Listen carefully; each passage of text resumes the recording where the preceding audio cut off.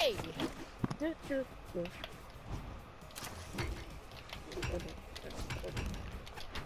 Oh my god, I wanted to Russian mafia him. By the way, the best pickaxe in that entire, in this entire thing so far is the tier 31.